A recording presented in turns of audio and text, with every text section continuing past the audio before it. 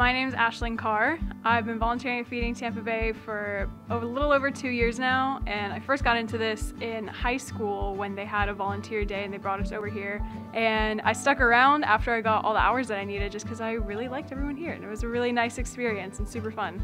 I normally now volunteer in the Winn-Dixie Charity Market because Mr. Lawrence, he had a regular Friday volunteer who used to come in and then they were unable to anymore, and since I always come in on Fridays, they just asked me if I could take over that position. I really like meeting new people, especially if they come in regularly too. You kind of develop friendships and connections with them.